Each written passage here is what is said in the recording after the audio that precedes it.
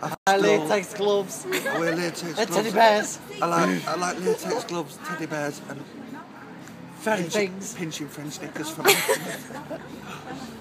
I try not to smile much because it shows my feminine side.